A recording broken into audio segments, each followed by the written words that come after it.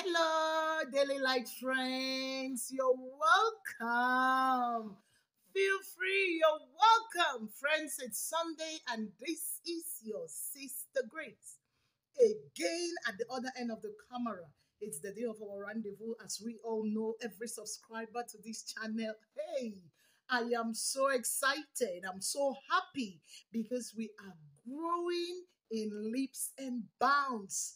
Praise the Lord. Thank you. Yes, you. Thank you for subscribing.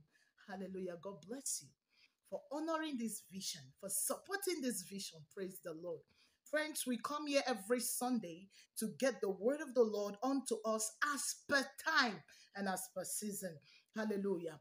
This one has been boiling in my spirit to share with us since yesterday. This word of the Lord for today will be coming from the book of Second Chronicles chapter 26 verse 15. Friends, I read. It says, "And he made in Jerusalem engines invented by cunning men to be on the towers and upon the bulwarks to shoot arrows and great stones without and his name spread far abroad, for he was marvelously helped till he was strong. Hallelujah. This man made what? Engines from his own intellect. That's God gave him the intellect. God gave him the power. God gave him the wisdom. God gave him the grace to make engines in those days that would just stand upon towers against the enemy to be shooting without anybody controlling it. Friends, this word has been boiling in my spirit to share with you. As you are watching me, the Lord says in, in His word, in the book of Deuteronomy, chapter 8, verse 18, that He is the one who gives us power to make wealth. Do you know that you can do nothing except by the grace and the help of God? Help is coming to everyone watching me, every daily lighter in your career, in your business. That is what I heard that I will share, that I should share with us. Help this day as you watch me, whether you're watching me live, whether you're watching me how many years later, this word is activated to work for you. Help is coming in your career, help is coming in your business, help is coming in your ministry. Whatever you do for a living, help is coming right now as I'm speaking to you. For that is the word of the Lord unto us. The Holy Spirit directed me to pray with us. He gave this man under Uzziah. In those days, Uzziah was king in Israel. Praise the Lord.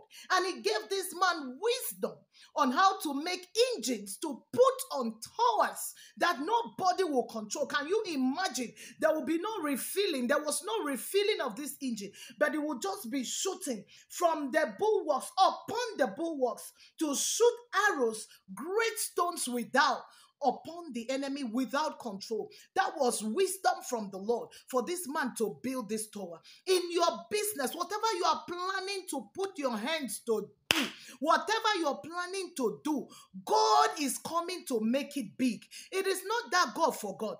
God arose on their behalf to remember them, to give them power to make wealth, to make it in your career, to make it in whatever you do. Today, as I speak and I pray with you, that is your portion. God is supporting you. I hear somebody you were giving support to do a business. Are you getting me? You are thinking on what to do. You don't know how to go about it. You have the finances. That is what I'm getting in my spirit.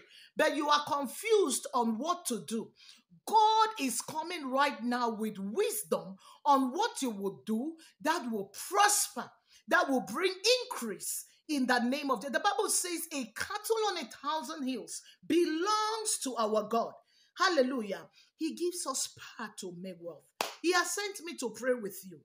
Every daily lighter, everyone watching me, I hold your hand in your career, in your business, even if you are a housewife, God is giving you power on how to go about to make wealth in your own way, you will contribute to the building of your family financially. Financially, that is what I came to do today to pray with us.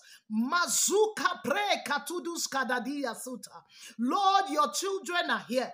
They are listening to you, speaking through this mouthpiece. I touch your hand. I touch your hand. As I touch you, I touch your business. May it prosper. May God give you ideas, strategic ideas of placement, where to open your shop, where to transfer to that will call customers, what to do to bring in customers.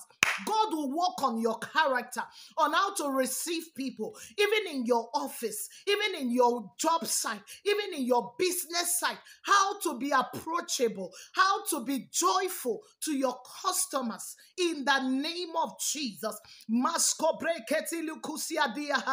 The windows of heaven opens over your career, it opens over your business, it opens over your ministry in the name of Jesus. I decree over every business person, every career person, every housewife, you will not be small. The little in your hand, God will show you how to multiply it in the name of Jesus. I cancel smallness over your life, over your finances. Right now, even in your dreamland, you will get ideas from the Holy Spirit on what to do to multiply wealth in the name of Jesus. You will not be lazy in the name of Jesus. As God drops this in your spirit, and as you do it, so shall it be in the name of Jesus. I cover you with the blood of Jesus. This week, your career, your business, your home is covered with the blood of Jesus. Lack and want is cancelled. You will have plenty to give, plenty to give unto others in the name of Jesus. This season, you remember this word from the Lord. He is coming for you, He has come for you. Indeed, your career is blessed, your business is multiplied with wisdom and knowledge on how to go about it in Jesus' name. Father, I cover everyone listening to me that is show yourself strong, show yourself real, even through this word of today. May they taste and see that indeed you speak and you do in the name of Jesus. God bless you. May your week be blessed in Jesus' mighty name. Remember, I, your sister Grace, I love you. But Jesus Christ, our Lord and personal Savior, He loves you more than I do.